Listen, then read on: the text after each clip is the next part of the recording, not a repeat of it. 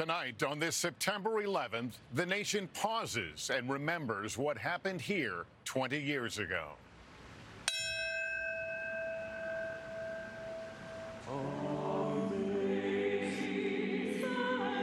Across the country, Americans gathered in groups large and small.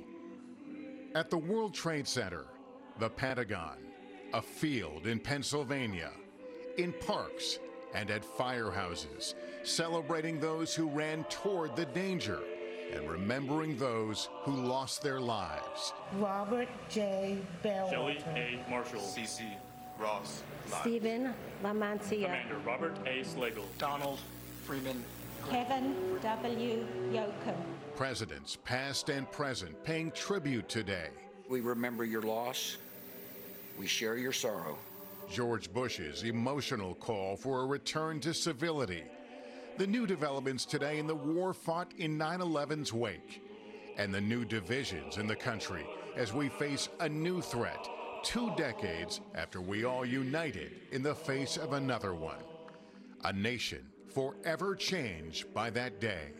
Tonight, the country fulfills its promise to never forget.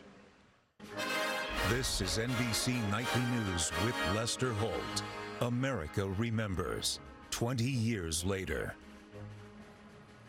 Good evening, everyone. The gleaming buildings that have risen here at the World Trade Center site have erased the physical scars of destruction from two decades ago. But today, on this 20th anniversary of the 9 11 attacks, we confronted the depths of the unhealed wounds to our hearts. Unspeakable loss, moments that will never be, and wounds to our collective sense of safety and security. Today at the crash sites here at the Pentagon and in Pennsylvania, families, survivors, and presidents celebrated the lives of victims and those who answered the call to duty.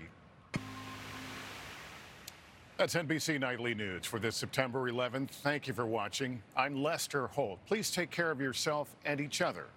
Good night.